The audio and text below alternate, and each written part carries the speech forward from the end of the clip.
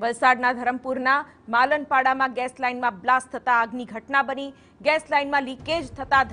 साथ आग लागी गैस लाइन में लागेली आगे एक दुकान ने झपेट में लीधी